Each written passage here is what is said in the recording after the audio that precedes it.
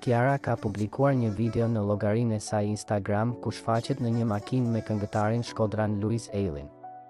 Luizi i cili është duke vozitur i këndon asaj një këngë të artistit të madh Frederik Ndoci që titullohet Sytë e tu.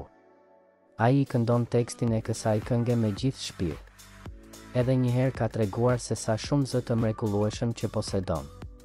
Zoti i ka falur një talent shumë të vlefshëm, zë që jo gjithkush mund ta ketë dhe mund ta shijojë. Kiara ndërkohë që e regjistron, shfaqet e buzëqeshur dhe e sheh me shumë krenari.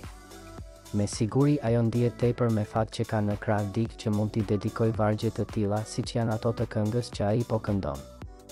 Ata përpos këngës që i ka dedikuar Kiarës gjatë kohës që nget makinën, duken se janë veshur të kombinuar me njëri-tjetrin. Me siguri do të na surprizojnë me disa foto të veçanta ndjekësit e tyre që mezi i presin.